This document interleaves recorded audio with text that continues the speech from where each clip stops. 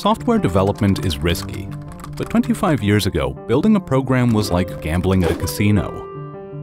In 1996, 31% of US development projects failed entirely. 53% were over budget, schedule, or missing functionality, and only 16% met initial expectations. The problem was in the way IT projects were planned.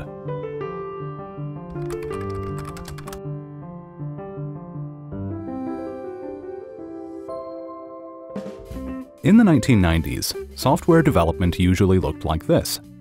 First, the team of user representatives gathered requirements, development was scheduled and budgeted, then thousands of pages of documentation was handed off to a tech team to begin design and development. Eventually, the system was integrated into existing processes and tested. This was called the waterfall model, as steps were discrete and strictly followed each other. Today, the drawbacks of this approach seem obvious. Planning and documentation could take months. But what if you've made a mistake and the software solves non-existent problems? This would then be revealed only at the end of the cycle, and estimating new features that need deep research was essentially guesswork. An additional headache became evident in enterprises and complex projects. How to translate business requirements to technicians? Project managers and analysts that worked on analysis stages spoke a language completely different from the one engineers spoke. Programmers like solving tech puzzles, not business problems. And this made the gap between planning and coding even deeper. There was a need for someone who'd take the technology leadership, have a high-level view on the problem, and suggest a solution expressed in a language accessible to technicians. In 1999, engineers from Rational Software, led by Philippe Kruchten, suggested building software in short iterations, re-evaluating assumptions and results at the end of each development phase. This technique was called the Rational Unified Process, and this partly solved the first problem related to long planning and a feedback cycle. However, today most development teams use other iterative and agile methods like Scrum, Lean, and Kanban.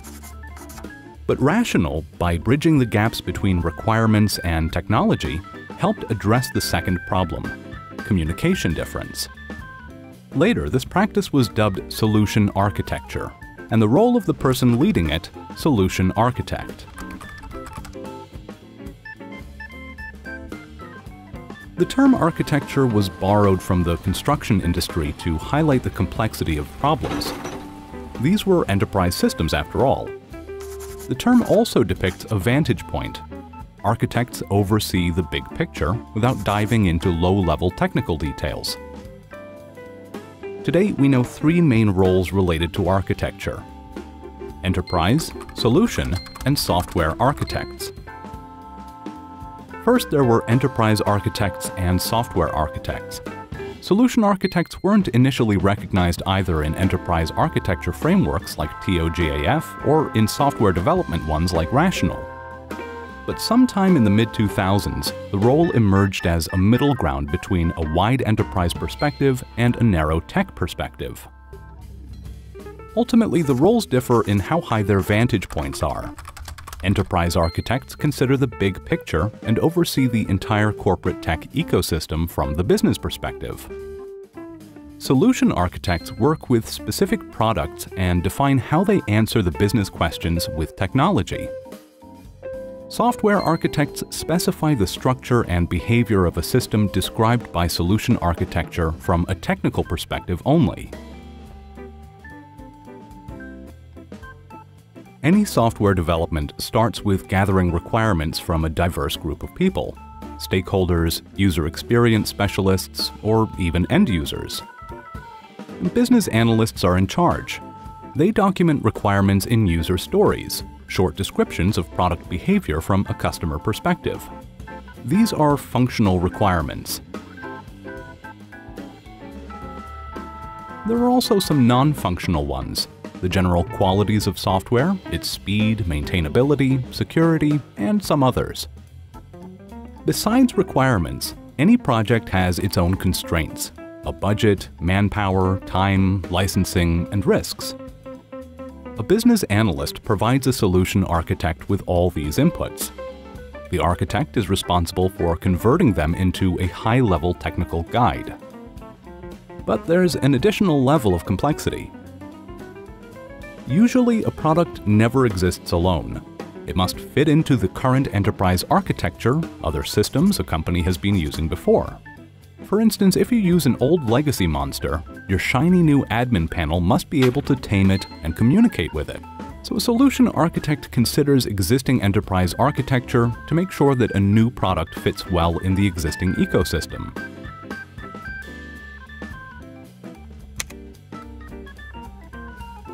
If you look at the Amazon Web Services Certification Exam Guide for Solution Architects, you'll get the idea of the problem domains that this person faces. Designing resilient architectures, defining performant architectures, specifying secure architectures, and so on. Too vague, right? Okay, for example, an architect building an AWS-based system may need to decide which Amazon cloud service to use and how if the client's salespeople upload their sales figures daily. They need a durable storage solution for these documents that also protects against users accidentally deleting important documents. The selection of specific technologies isn't limited to cloud services only. An architect decides technology stack, databases, architectural patterns, standards, and more. But where's the architecture? What is that exactly? Construction architects have concepts and plans. Solution architects have diagrams. And remember rational software. In 1995, they suggested Unified Modeling Language, or UML. UML is a language for visualizing how software works. This is Hello World in Java programming language, and this is Hello World in UML. UML suggested three main building blocks. Things, boxes, circles, and other shapes to show functional objects. Relationships, lines and arrows to connect objects and explain how they interact. And diagrams, combinations of these to capture the big picture. Using this simple logic, you can describe very complex systems with modules, services, databases, flows, or even movies. Here's a recent Netflix Bandersnatch. In 1997, Object Management Group standardized UML as a general-purpose modeling language. It also became ISO standard in 2005. Now the language is widely used to describe architectures. And UML isn't the only way to describe architectures. With the growth of cloud services, their providers also suggest their individual visualization methods. And that's how business needs are first translated into user stories and then into the format that engineers can work with.